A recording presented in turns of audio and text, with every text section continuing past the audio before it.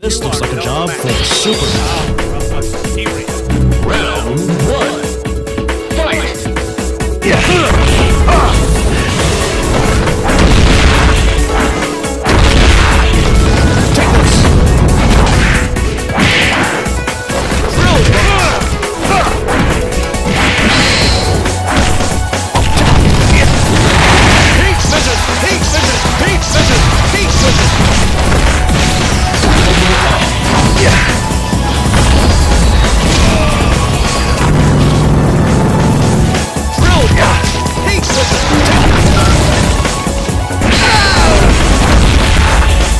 Quit while you can.